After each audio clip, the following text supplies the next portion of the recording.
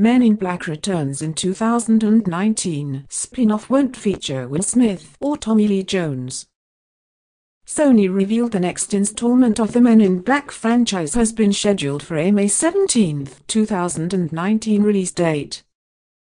The film has no title yet, but Transformers, The Last Knight and Iron Man writers Matt Holloway and Art Marcum developed the script.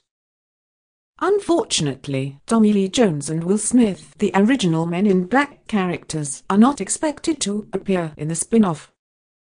While Smith and Jones will be missed, Sony revealed the story will exist in the same universe established in the previous Men in Black films.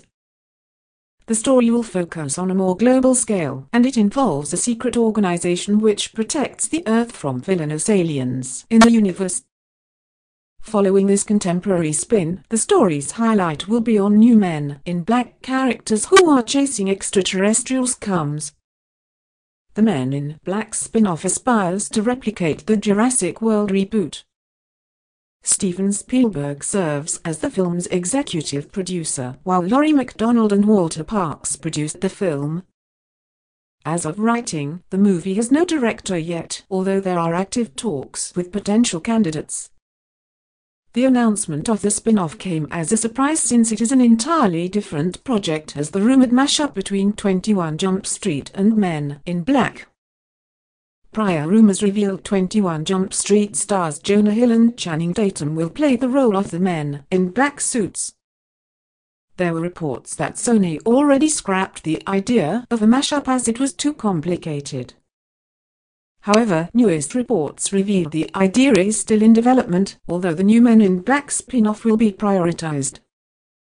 As for what fans can look forward to in the Men in Black spin-off, Parkes revealed the writers created a film which stays true to the franchise core.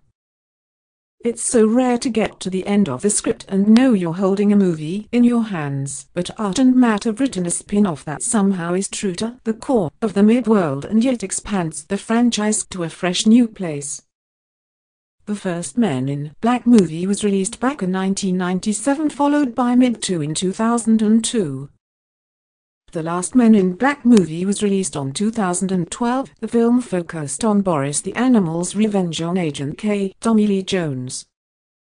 The alien changed the course of history by killing the younger version of Agent K. Agent J. Will Smith had to travel back in time to save the young Agent K from dying.